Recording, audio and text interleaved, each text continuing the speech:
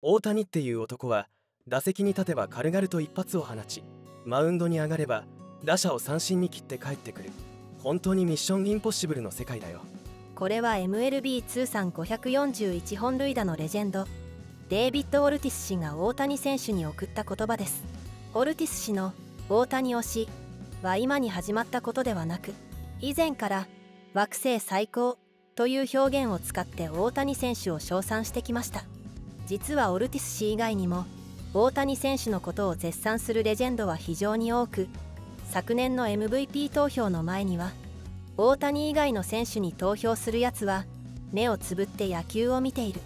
と過激な持論を展開する人物まで現れています。多くのレジェンドたちが大谷選手を絶賛する理由はいくつもありますが二刀流として前代未聞の成績を残した点についてはもちろんのこと。飾らない人柄についても高い評価を受けているようです。そこで今回の動画ではレジェンドたちが大谷選手を絶賛した言葉を紹介しつつ魅了されてしまう理由についても触れていきます。大谷は大好きだけど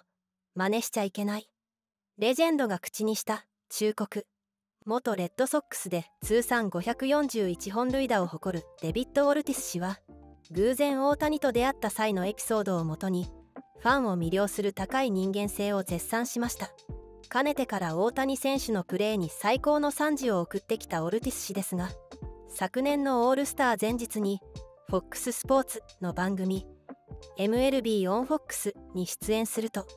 我々は一日中翔平の話をして彼を称賛し続けることができるが私が彼に感心したことの一つは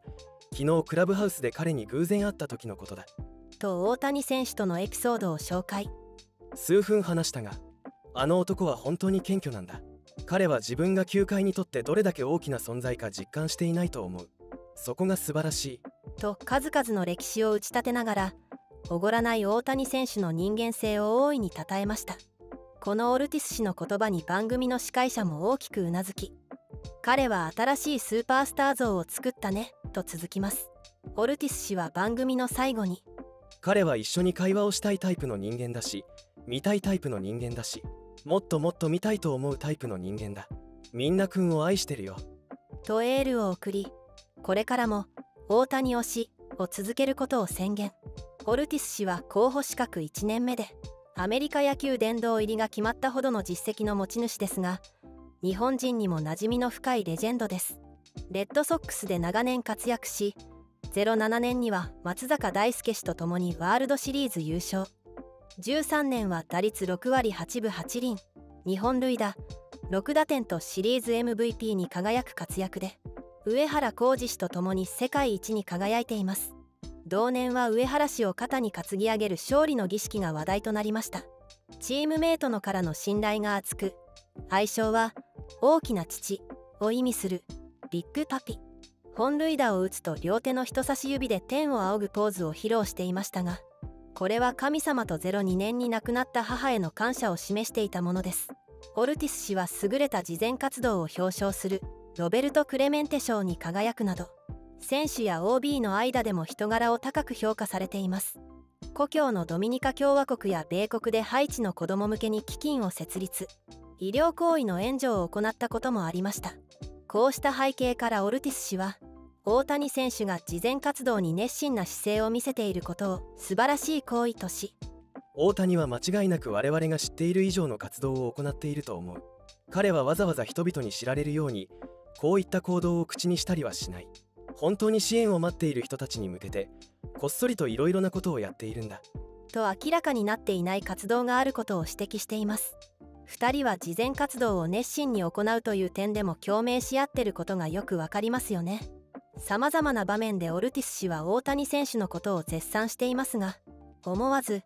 宇宙人ではないかと疑ったシーンがあります。大谷選手は昨年行われた第5回 WBC で MVP に輝きましたが決勝戦の試合直後にアレックス・ロドリゲス氏とデビッド・オルティス氏からインタビューを受けました。まずはロドリゲス氏から試合前のベンチでメジャーリーガーを恐れるなと鼓舞したことについて聞かれた大谷選手は素晴らしい選手たちが並んでいる。何も考えないと。あマイク・トラウトだとリスペクトの気持ちが受け身の形になってしまう。本当に負けないんだという気持ちを持っていきたいなと。と後に名言となったシーンを振り返っています。オルティス氏から当時チームメートであった仲のいいマイク・トラウト選手を見事に三振に取ったシーンについて聞かれると自分のベストを超えるような球を投げないとなかなか抑えられない打者じゃないかなと思ってそういう気持ちで言ったと明かしました。そして大谷選手は WBC 優勝のキャリアを手にしたことに笑顔を見せると急にオルティス氏は真顔になり真剣な質問をしたいんだけどと前置きを挟みます。この時大谷選手はエンゼルスに所属しておりオフには移籍をめぐって争奪戦が展開されることが予想されていたのでオルティス氏は FA に関する質問をぶつけると思われていました大谷選手を含めたロドリゲス氏と司会者も真剣な表情になりましたがここでオルティス氏から出た言葉は「どこの惑星の出身なの?」との質問見事な緊張と緩和が入り混じったオルティス氏の質問に全員が大笑いを見せる中で大谷選手は僕は日本の田舎というかあんまりチームも少ないようなところでやっていたので日本の人たちからしても頑張ればこういうところでできるんだっていうのは本当に良かったんじゃないかなと思う。と笑顔を見せました。大谷選手は MLB を代表するレジェンド2人に囲まれた場面でもいつも通りの自然体を崩さず受け答えをしておりこういった姿も過去の名選手たちを虜にする理由と言えますよね。WBC が終わってからもオルティス氏は大谷選手に関しての話題になると待ってました。とばかりにジョークを交えながらコメント披露しています。昨シーズンエンゼルスがボストンでの試合を行う際には明日は来る予定はなかったけど昨日の夜大谷が登板すると知ったから来ることにした。大谷は地球上で最高の選手だ。大谷がいい試合をしてホームランも打て。でも私たちが勝たないといけない。と大好きな大谷選手には活躍してほしいが古巣には勝ってほしいという複雑な胸の内を明かしました。そして取材していた記者から「大谷がボストンでプレーする可能性はありますか?」と聞かれると「ボストンに来るなら大谷の代理人になっていいかい？そうすれば俺はずっと飯を食っていける」と大声で笑い大谷を見るのは楽しいし彼がどんな選択をするのかが楽しみ。でもどんな球団に行っても応援し続けるさ。私は大谷が大好きだ。I love you 大谷。と語り大谷選手の交渉役として名乗りを上げたのです。もちろん大谷選手がオルティス氏に交渉役を頼むことはありませんでしたが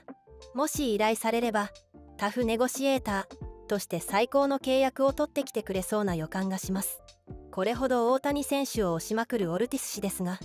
二刀流のプレーに関しては野球少年や少女に対して真似をするなと釘を刺したことがありました。MLB はここ数年イギリスのロンドンで試合を行っていますが昨年は試合の解説にデレク・ジーター氏とオルティス氏が登場。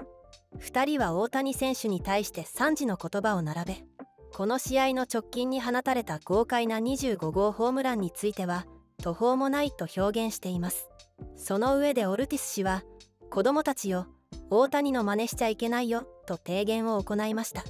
司会者から今シーズンの前半戦で最大の話題は？と問われるとオルティス氏が翔平大谷についてはいくら言っても言い足りないと切り出します。そしてこれを見てくれと示したのは大谷選手が強烈なスイングでライトスタンドに突き刺したホームランの動画でした。笑顔を見せつつオルティス氏はこれは途方もない。この球のコースを見てくれ。そしてこれをいかに宇宙間に持っていったか見てくれ。これは不可能に近い。子供たちを真似しちゃいけないよ。これは不可能に近いから。こんなボールはうまくカットするかボールをコールされるのを祈るんだ。と語り大谷選手の高度な技術を真似しないようにと忠告。オルティス氏の意見にジーター氏も納得の表情を見せており大谷がこのコースをスタンドまで持っていけるのは並外れたパワーとしっかりとボールを引きつけて自分のポイントで打っているからだ。同じことを非力なバッターがやればぐしゃりとなるだけだと思うと続けました。確かにこの大谷選手のホームランは映像でもボールゾーンの球を見事に捉えていることが分かり相手バッテリーも落胆というよりは驚きの表情を見せています。大谷選手は長い腕を器用に折りたたんでインコースのボールをさばきますがオルティス氏はこの打撃スタイルをドミニカの同胞でもある。アルバート・プホルス氏に似ていると表現していました。プホルスと大谷に共通しているのはタイミングの取り方だ。足を大きく上げずすり足気味に使っている。インコースに強いところも共通しているし選球眼もいい。少し違っているところはプホルスが極端なプルヒッターだったけど大谷は広角に打ち分けることができるところかな。オルティス氏が似ていると表現した大谷選手とプホルス氏ですが2人はエンゼルス時代に一緒にプレーしていた時期があり大谷選手は打撃の師匠としてプホルス氏をリスペクトしていたのです。大谷選手は2022年のシーズンに自身初の200奪三振を記録し1918年にベーブ・ルースがマークした13勝11本塁打の上を行く。14勝34本塁打を達成しました。100年以上前の記録を更新した大谷選手に対してこの日はいつも以上のメディアが取材に訪れましたが自分の記録よりも700本塁打を達成したプホルス氏を称えるコメントを残しています。記者からルースを超える記録になりましたがと尋ねられると大谷選手はすごく光栄なことですと前置きを挟むと。本人がどういう風に思っているかわからないですけど全然違うというか700いくかいかないかはもちろんそこまで打っているのがすごいですけど大きなことだと思うので本当に今年終わるのかなっていうくらいの打撃をしていると思う。少しの間ですけどプレーできたのは光栄だと思います。とすぐにプホルス氏の話題に移りました。通算700本塁打はバリー・ボンズハンク・アーロンベーブ・ルースに続くメジャー史上4人目の快挙。偉業達成は囲み取材の始まるわずか30分ほど前でしたがすでに大谷選手はこの情報をインプットしており興奮気味にプホルス氏の凄さについて語っています。実はエンゼルスに大谷選手が入団するまで DH のポジションはこの偉大なレジェンドのものでした。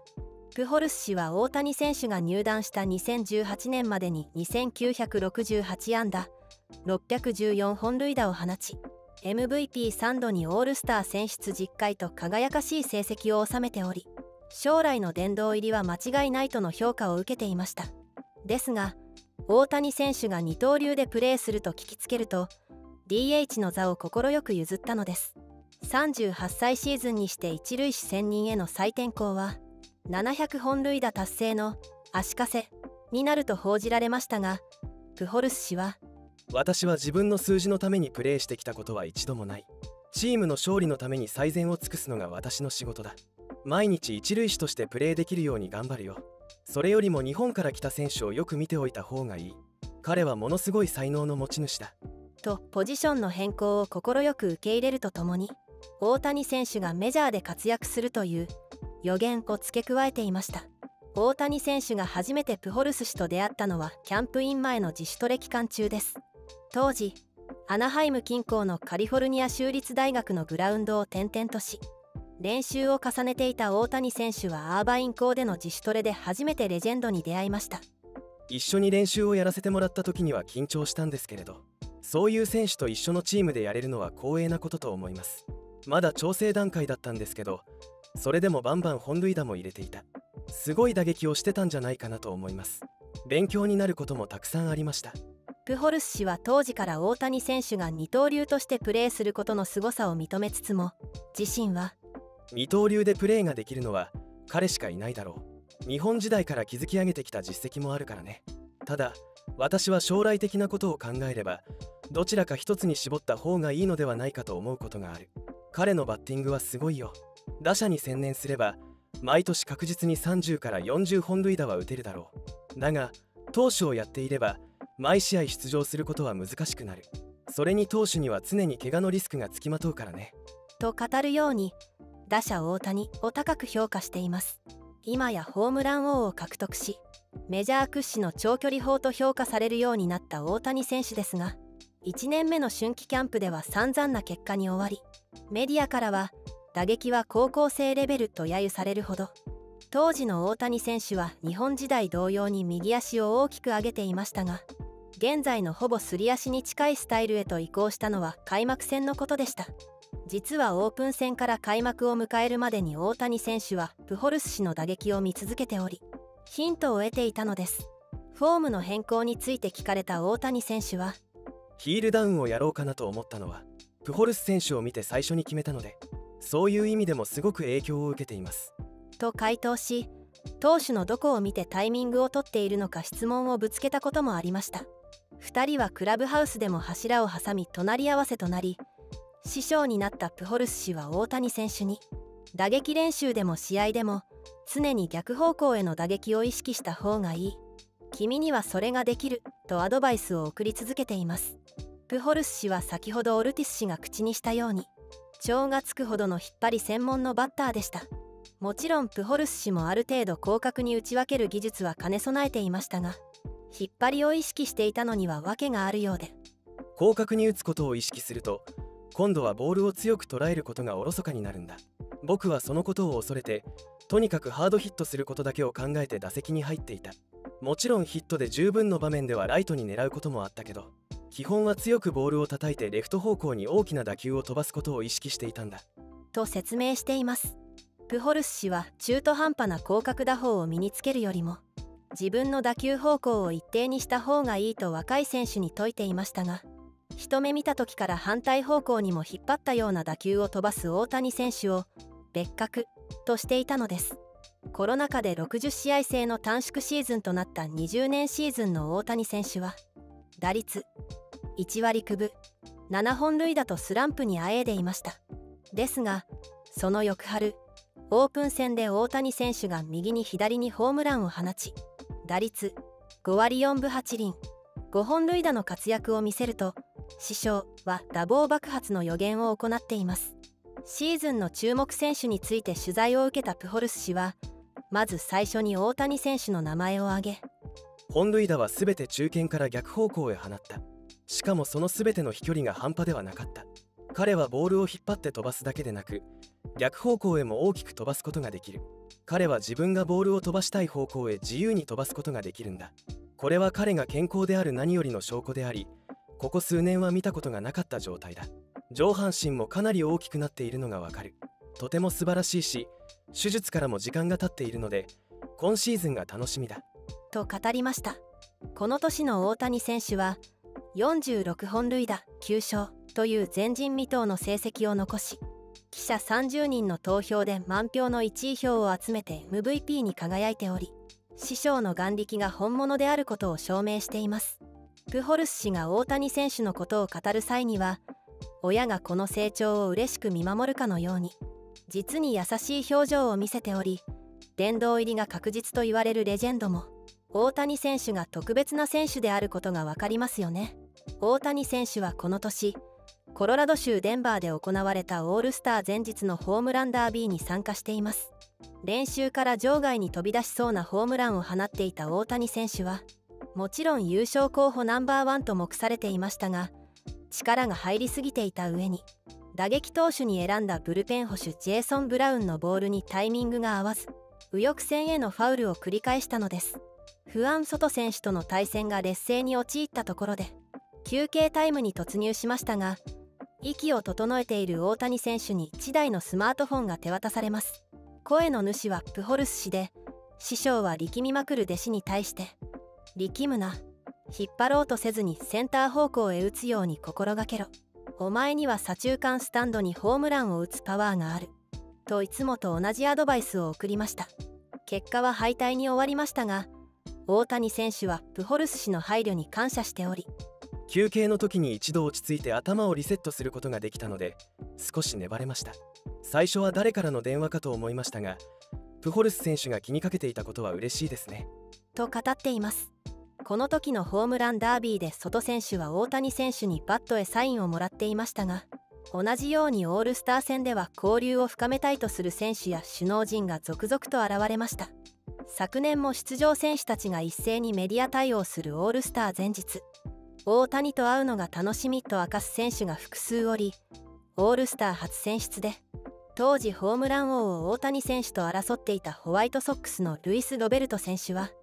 翔平と一緒に過ごせることが楽しみ。世界でベストの選手の一人だから。彼の動きをじっくりと観察したい。と語っています。シーズンではライバルになるはずの選手が大谷選手の前では一人のファンに戻ってしまうところが面白いですよね。同じく初選出のアスレチックスのブレント・ルーカ。選手も大谷選手と会うのを楽しみにしており。オールスターで一番会いたいのは翔平。彼からホームランを打った時のとてもクールな写真があるのでそれにサインをしてもらう。とこちらもファンに戻ったようなコメントを残しています。ここで非常に興味深いと言えるのは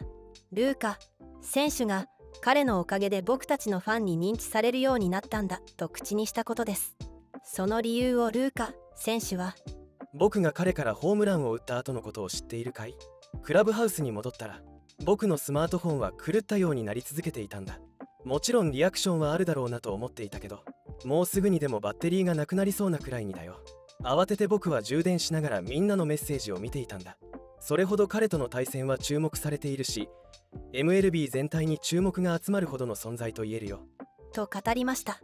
ルーカ選手の言葉を借りれば大谷選手の存在がすでに MLB 全体に注目を集める存在になっていて選手たちもこれを好意的に受け取っていると言えます。後にチームメイトになるフリーマン選手も。7度目にもなるとオールスターに参加するのはもう子供のためという感覚だね。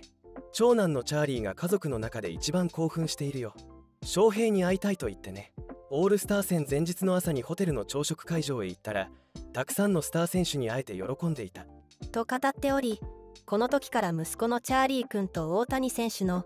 友情が生まれました MLB の選手たちの家族が大谷選手に夢中になっていることは珍しくありません。例えばすでにメジャー200勝以上を記録しているザック・グリンキー選手の長男ボーデ君は大ファンの大谷選手からサインをもらい笑顔でツーショット写真に収まりました。この嬉しそうな様子はグリンキーの妻エミリーさんがインスタグラムに投稿しており日本のファンからもボーデ君のベストスマイル。めっちゃ嬉しそうなのが伝わる。こっちまで嬉しい気持ちになるような写真。と多くの反響が寄せられています。カルロス・コレア選手は妹のレイバイサンドさんが大谷選手の熱狂的なファンであるため妹の14歳の誕生日だった2022年の8月に大谷選手との対面をお膳立てしたことでも話題になりました。ちなみに憧れの大谷選手と対面したレイバイサンドさんは号泣しながらその喜びを表現しており兄のコレア選手はその様子を温かく見守っています。レイバイサンドさんはまるで推しのアイドルと対面したような感激ぶりだったので見ているこちらにも大谷愛が伝わるシーンでした。現在はサンフランシスコジャイアンツの特別アシスタントを務めているダスティ・ベーカー氏も妻のメリッサさんが大谷選手のファンであることをたびたび口にしています。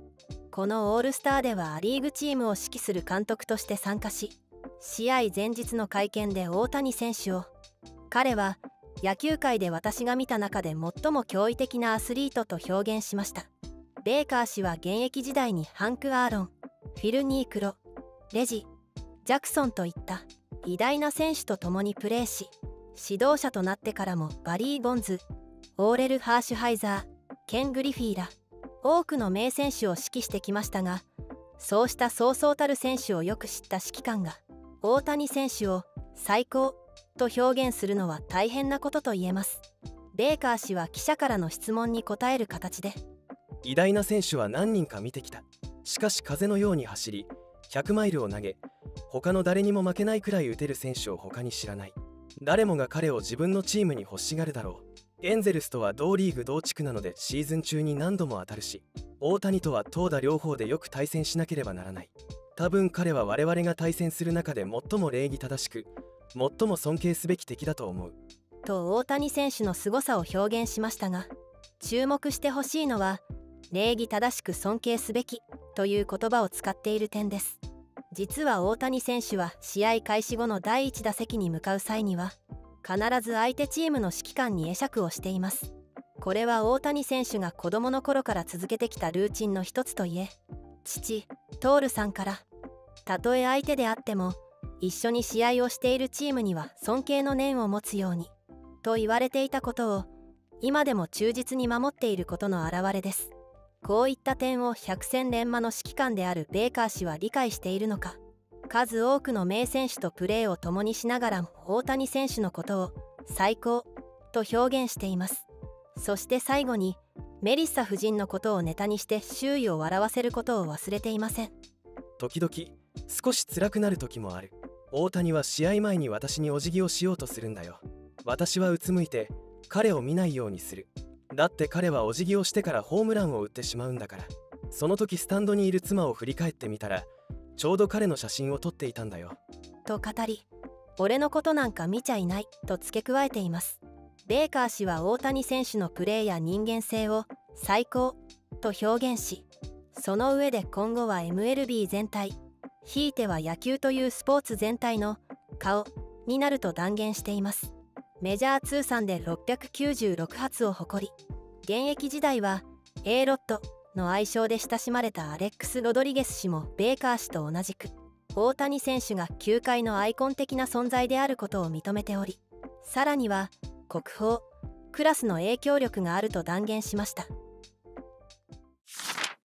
彼は国宝だ A ロットが大谷選手を認める理由。あの A ロットが巨額契約に反応した。こうアメリカで報じられたのは大谷選手がドジャースと10年7億ドルという契約を発表した時のことです。アメリカで大谷選手の契約が商法されると X でその一つを引用したのはロドリゲス氏でした。翔平おめでとう。大きな動きだね。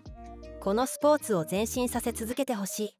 と文面には綴られておりアメリカではロドリゲス氏が前進させてほしい。と記したことに注目が集まりました。アメリカ全国紙 USA Today の敏腕記者ボブ・ナイチンゲール氏もこのロドリゲス氏のコメントに注目。実はロドリゲス氏はあまり自分以外のプレイヤーをもろ手を挙げて称賛することが少なくイチロー氏が日米通算4000本安打を放った際も偉業をたたえつつこの記録は多くの人々に称賛されるべきだが彼が日本で1000本以上のヒットを放っている点を忘れてはいけない。とやや奥歯に物が挟まったような一言を付け加えています。こうしたプライドの塊のようなロドリゲス氏だからこそ大谷選手を球界の顔として認めるような発言をしたことは大いに注目を集めることになり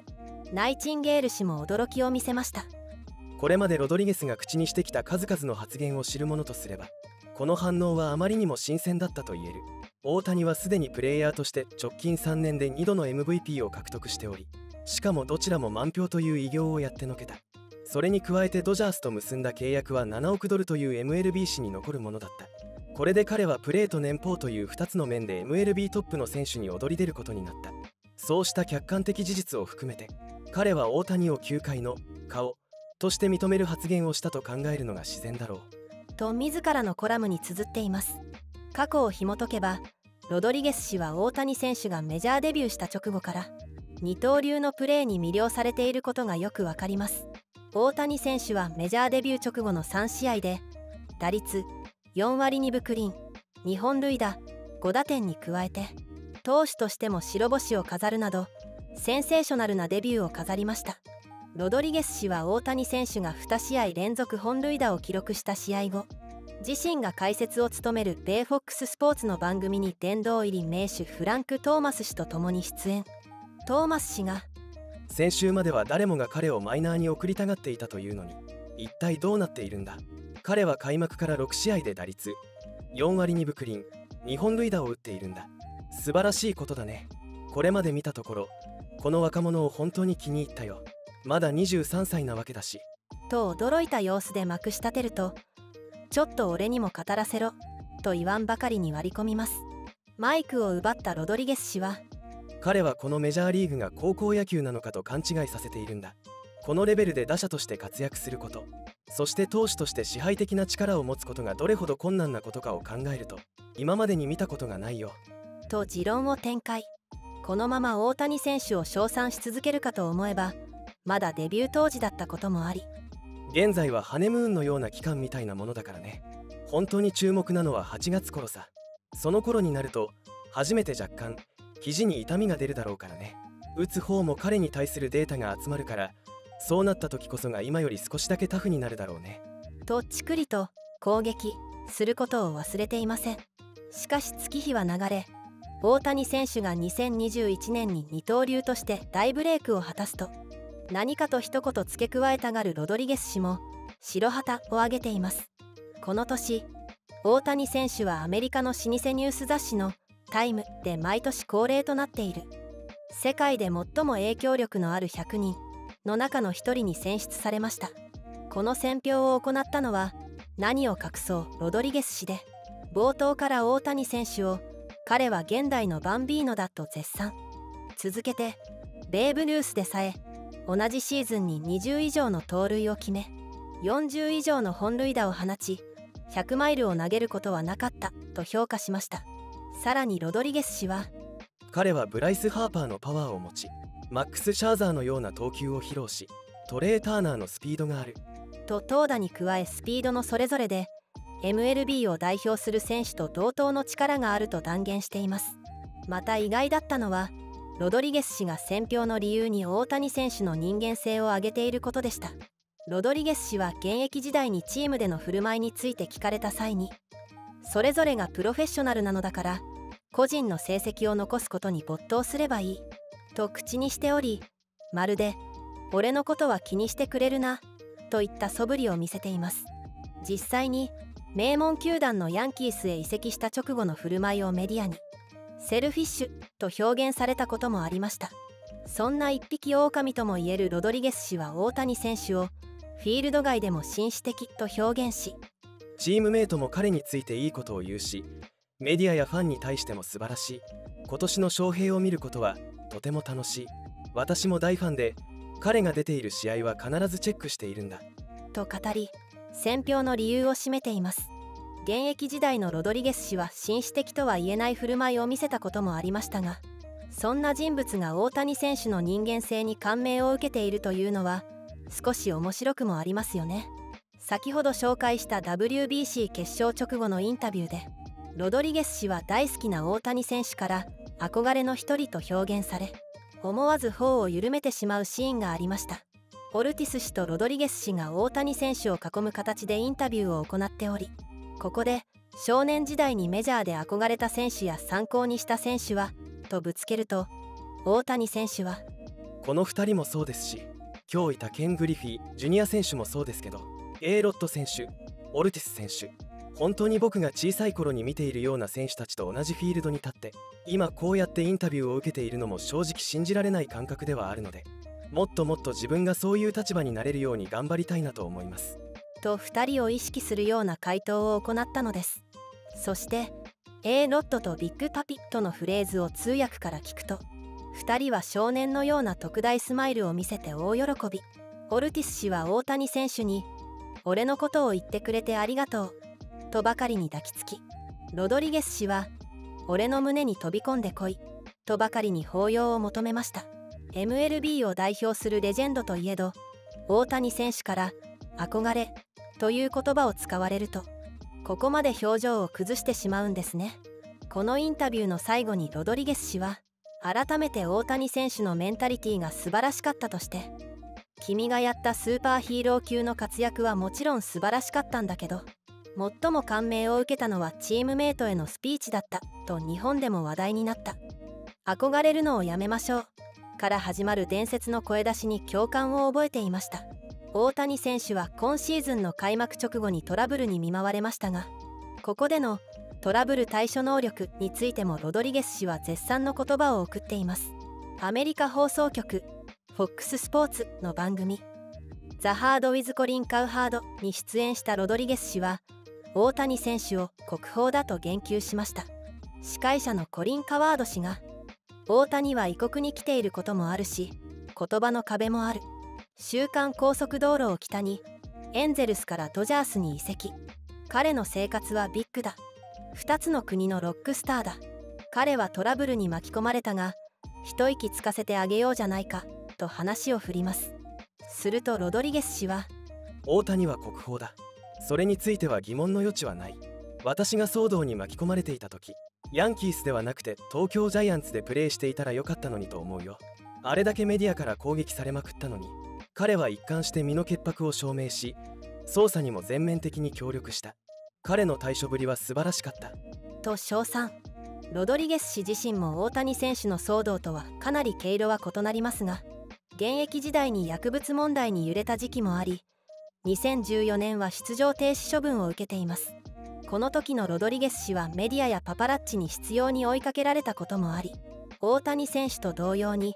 外的要因との戦いも経験していました。さらにロドリゲス氏はロブ・マンフレッドとリーグはすぐに調査して答えにたどり着き毅然とした態度で前に進んだ。私がもしブラジルでプレーしていたらもしくは東京のチームでプレーしていたら韓国でプレーしていたらどこでプレーしていてもどんなひどい状態になっていたか想像もできない。きっとかなりの試練だっただろう。と大谷選手の胸中を思いやり彼はプレーもそうだが本当に精神的にタフなやつだと語っています。精神的にタフな場面に見舞われたことのある大谷選手とロドリゲス氏ですが2人を知る松井秀喜氏はある。共通点があると口にしたことがありました。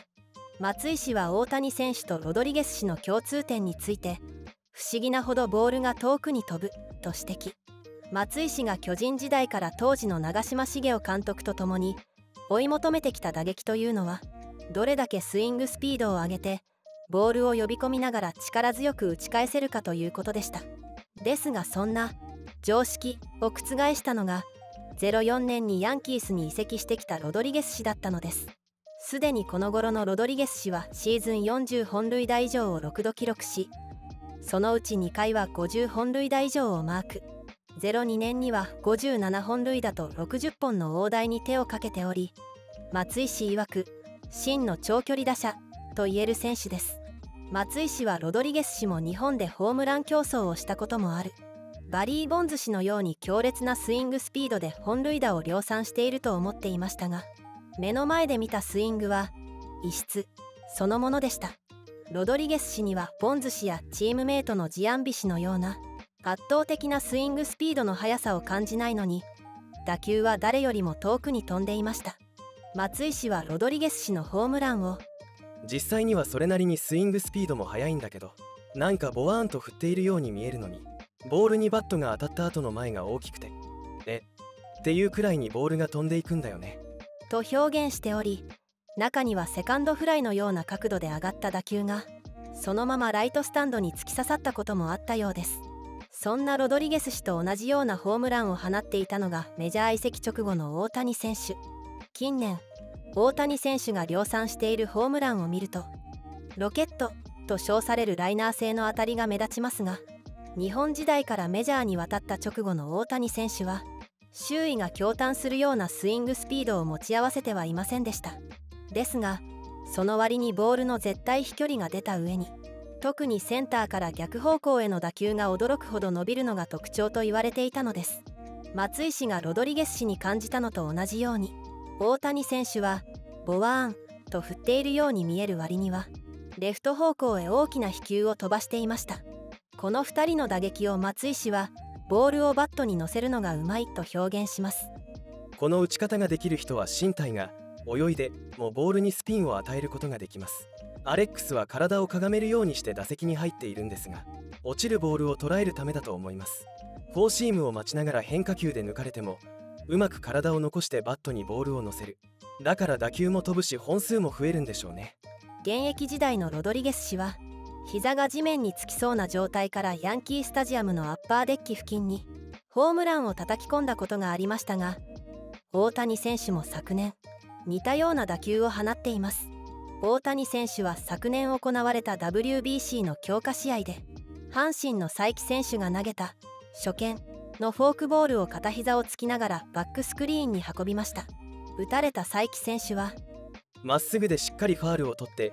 いい形で追い込んだ後に片手であそこまで打ち返されてしまった。初見のフォークを完璧に打たれてしまったのでとても悔しいです。と語り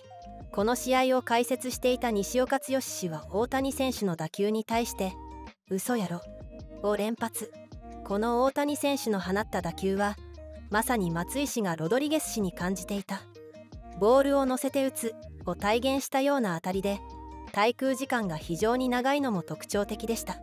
松井氏は自身が持つ日本人のシーズン本塁打記録を大谷選手が更新した際には大リーグの常識を変えた唯一無二の存在です。今後もファンの方々や少年たちの夢を背負いシーズンを乗り切ってほしいとの言葉を使って称賛を送っています。あの片膝をついてのホームランは伝説級の一発といえロドリゲス氏や大谷選手のような天性の長距離砲にしか打てない打球と言えますよね。バットで MLB の歴史に名を刻む選手たちから絶賛を受ける大谷選手ですがもちろんレジェンドピッチャーたちからも高い評価を得ています。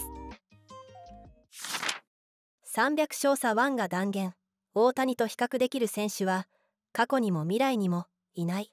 2022年に大谷選手がジャッジ選手と MVP 争いを繰り広げている際にアメリカの番組に出演した伝説の左腕ランディ・ジョンソン氏は彼のやっていることは前代未聞なんだと力説し大谷が MVP を獲得するべきと持論を展開しました。アメリカスポーツベッティング専門局ベガススタッツインフォメーションネットワークの番組。VSIN ビッグベッツに電話出演したジョンソン氏。同公式ツイッターが公開した動画の中で大谷選手について聞かれると彼は考えられないようなことをしている。ベーブ・ルースでさえやっていなかったことを成し遂げている。と衝撃を受けていることを明かし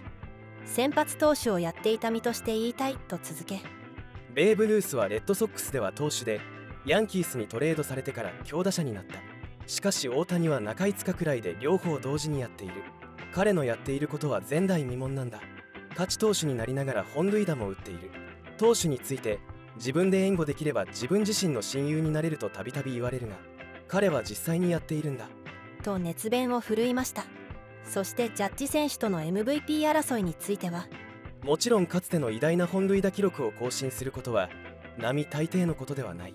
だがもう一度よく考えてほしい。先発として100球を投げた疲労感を抱えながら翌日の試合に打者として出場し打つことはもちろんだが彼は走ることも怠らない。そんな選手は今までいなかったしこれからも出てこないと思う。として大谷選手が MVP を獲得するべきと提言しています。かつてヤンキースなどで活躍した CC サバシア氏はジョンソン氏と同じく大谷選手がセンセーショナルな活躍を見せる以前から絶賛を繰り返してきました。21年シーズンに大谷選手がその絶賛ぶりすら上回るパフォーマンスでメディアやファンを熱狂させたことにより結果的に自分の言い分がかなり正しかったことが証明されるとそれ見たことかとご満悦の様子を見せています。サバシア氏が熱心に大谷選手を応援していることは球界の関係者の間でも知られており当時 MLB.com でエンゼルスを担当するレッドボリンガー記者は一番の大谷ファンは誰かそれは CC サバシア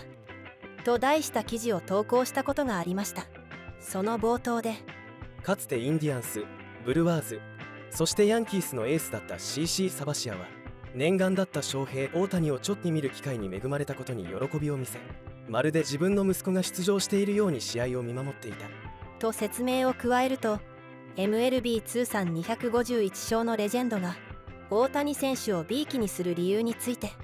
あの男がプレーしているのを最初に見た時俺は自分が見てきた中で彼が最高の選手だと言ったんだ。そして人々はそのコメントに対し取り乱したんだ。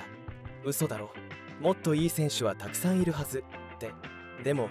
あのレベルであのプレーができる選手は他にいないんだ。彼のプレーを見るのは素晴らしいね。俺は彼が先発する試合は全て見ている。東海岸に住んでいるのでタイマーをセットして試合を見るんだけどおそらく俺は一番のファンだろうね。とコメントしたことを伝えています。さらに記事によると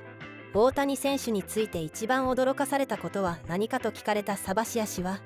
彼のスピードと彼の大きさだね。俺は実際に彼を生で見ることができた2019年までそのことに気がつかなかったんだ。彼はディディエ2バウンドのゴロを打ってセーフになったんだ。と語っており意外な部分に注目していたことが分かりました。またサバシア氏は大谷選手が速いフォーシーム系のボールにも振り負けないスイングを見せていることから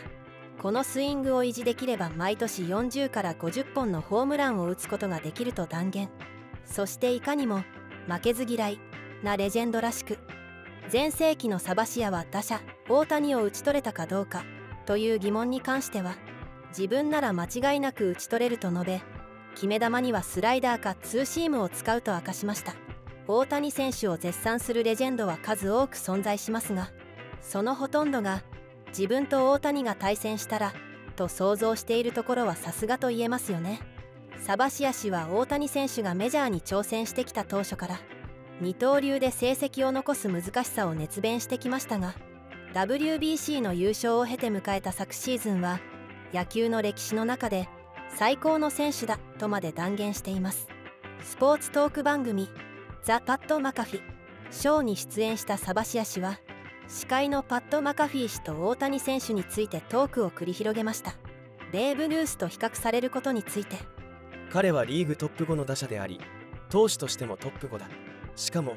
今は昔と比べて最高の選手が集まっている。105マイル投げる投手がいるんだ。打者は今まで飛ばしたことのないような場所に打つ選手がいる。彼はその中で最高の選手なんだ。と持論を展開。さらにサバシア氏はルースがヤンキースに移籍してからは二刀流を継続しなかったことに言及しています。実は二刀流の元祖と言われているルースですが投打の両方で試合にフル出場したシーズンは限られています。1917年には326イニングを投げ24勝を記録するフル回転ぶりを見せつけていますがこの年打者としては123打席にしか立っておらず真の意味での二刀流としてシーズンを送ったわけではありません。ヤンキースに移籍してからは投手ルースとしての出場はほとんどなくなり15年間でわずか31イニングにしか登板しませんでした。こうした背景をサバシア氏は指摘しつつ。ルースが残した記録は偉大だが二刀流という点に絞れば1919年のシーズンに限られるはず。だから大谷がやっていることは MLB の歴史上で初めてだと言ってもいい偉業なんだ。と持論を展開しています。さらには彼は最速で一番打球も飛ばし一番速い球も投げる彼はリトルリーグでプレーしている。彼は最高の選手だと熱弁。サバシア氏は大谷選手と WBC の試合前にハグを交わすなど交流を深めていたこともあるようで。彼と何回か会話をしたことがあるけど本当に謙虚だ。彼は毎日プレーするために何を準備しないといけないか理解している。クレイジーだよ。と人間性についても手放しで感心していました。MLB の歴史を彩ったかつての名選手たちが大谷選手に続婚であることがよく分かりましたが現役の選手も同じ気持ちで大谷選手のプレーを見ているようです。チームメイトのムーキー・ベッツ選手は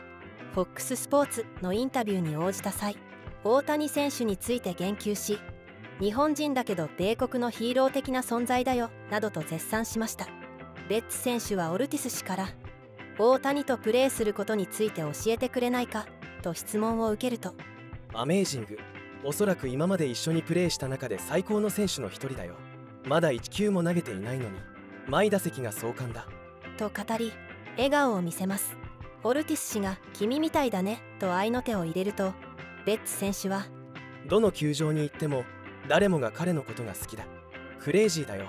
彼は日本人だけどアメリカ人のヒーロー的存在だよ。と述べるとオルティス氏も大きくうなずき君の意見に賛同するよとうなずきました。さらについ先日発表された MLB 選手を対象にした。アンケート。でも大谷選手は最高のプレイヤーとして認められています。ドジャース専門メディア。ドジャースネーションのマット・ネビン記者は6月13日。ドジャースの翔平大谷。MLB 選手新調査で絶賛される。と題した記事を投稿。調査内容を振り返り。彼が長年かけてどのような選手になったかを物語っている。とメジャー7年目となる大谷選手の歩みをたたえました。毎年恒例で調査を行った現地メディアジ・アスレチックは投票者の46%が2度の MVP に輝いた大谷をこのスポーツ界最高の選手として挙げた。さらに数人の選手が大谷こそが真の回答だと認めつつ予想がつきすぎることを恐れて別の回答をすることに決めた。としていますこの調査は現役メジャーリーガーが匿名で行っておりナンバーワンだと思う選手はなどの質問を含めた12問ほどが設定されているようです。そこで大谷選手は過半数に近い票を独占することになりましたが中にはわざわざ聞く質問じゃない大谷に決まっていると答え投票すら行わない選手もいました。大谷選手に投票した選手からは比較の余地はない誰もが比較対象を持っているが彼には比較対象がない。翔平ルースかベーブ大谷か。疑問の余地はないと絶賛する声が上がりこれらを引用する形でドジャースネーションはある程度当然のことながら同世代の選手たちから今日の野球界で最高の選手として投票された。と報じました。2位以下の選手を見るとブレーブスのアクーニャ選手で3位はヤンキースのジャッジ選手とドジャースのベッツ選手が8.8%で並んでおり大谷選手の得票率の高さが際立ちます。大谷選手は来年の春頃には投手としてマウンドに上る可能性が高いとされておりレビン記者は今後もベーブ・ルースとの比較は今後も続く可能性があると見通しました。そして最後に総括として彼がリーグ中で築き上げてきた尊敬の念は明らかであり彼が長年かけてどのような選手になったかを物語っている。大谷はファンだけでなく同僚にとっても野球界最大の注目選手であり続けている。として記事を締めています。中にはなんて馬鹿げた質問。ありきたりすぎる。でも大谷がベスト。との言葉を使って大谷選手の偉大さを表現した選手もおりこの言葉が現役の選手からも高い支持を得ていることを表していますよね。さて今回の動画はいかがだったでしょうか？レジェンドたちが大谷選手のことを大好きなことが伝わってくるようなエピソードばかりで見ている私たちも誇らしく思えます。数多くの人たちが口にしたのは大谷選手のプレーそのものの評価に加えて人間性を高く評価していることです。メジャーの歴史とかにはあまり詳しくないという大谷選手ですが所属球団以外の OB が姿を見せると自ら歩み寄って握手を求めるシーンも見られており現役を退いた選手をリスペクトする姿勢が伝わってきます。すでに日本だけでなくアメリカでも大谷選手は国民的なヒーローになりつつあるので現役ナンバーワンの選手という称号はしばらく翔平大谷のものになりそうですね。今回も最後までご視聴ありがとうございました。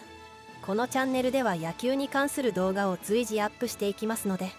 取り上げてほしい話題などがあればぜひコメント欄にてお待ちしております。最後まで見ていただけた方は高評価やチャンネル登録をよろしくお願いします。それではまた次回の動画でお会いしましょう。